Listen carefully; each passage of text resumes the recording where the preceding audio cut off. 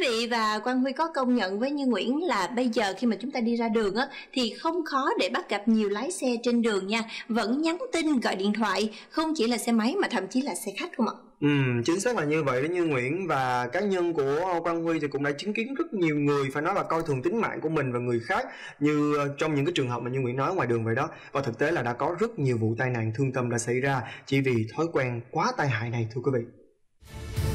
Chiếc xe máy biển kiểm soát 36E101311 do nam thanh niên điều khiển không đội mũ bảo hiểm đang lưu thông trên đường thì bất ngờ tông vào đuôi chiếc xe ô tô biển kiểm soát 36A22301 đang đổ bên đường. Vụ việc khiến cho năm thanh niên bị choáng, chiếc xe ô tô mất phần đuôi. Theo nhiều người dân chứng kiến sự việc thì năm thanh niên một tay lấy xe máy và một tay cầm điện thoại nên mới xảy ra tai nạn. Sự việc xảy ra vào chiều ngày 18 tháng 10 trên đường Quang Trung, đoạn qua phường Đông Vệ, thành phố Thanh Hóa này là bài học đắt giá cho mọi người.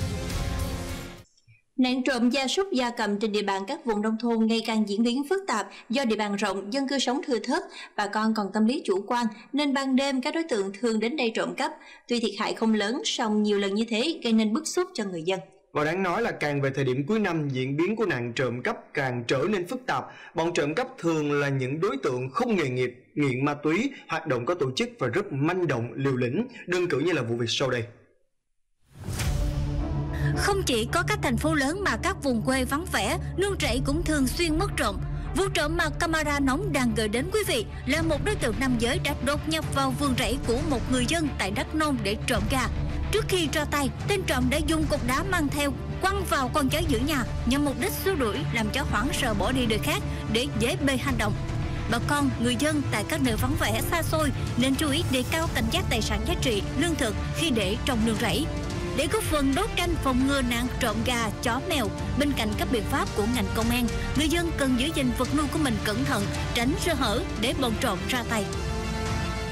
Vì đấu tranh làm rõ các đối tượng trộm chó, trộm gà không hề đơn giản thưa quý vị, bởi lẽ các đối tượng trộm khi bị phát hiện thì sẵn sàng chống trả, kể cả với người thi hành công vụ, càng khiến cho người dân thêm bức xúc căm phẫn. Đúng là như vậy đó như Nguyễn, mà người dân thì không chỉ bức xúc căm phẫn nạn trộm gia súc gia cầm mà nạn trộm vặt như là chim cảnh nè, cá cảnh gia tăng thời gian vừa qua cũng khiến cho họ vô cùng phẫn nộ, đơn cử là vụ việc sau đây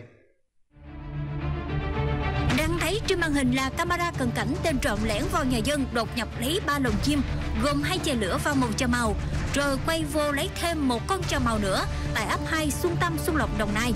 Bà con cảnh giác trộm khi đi vào ngủ nhất là những hộ nuôi chim cảnh để trước nhà. Tuy là giá trị không thể tính được, nhưng nhiều con chim được chủ bỏ công chăm sóc, thế mà sau một đêm mất sạch.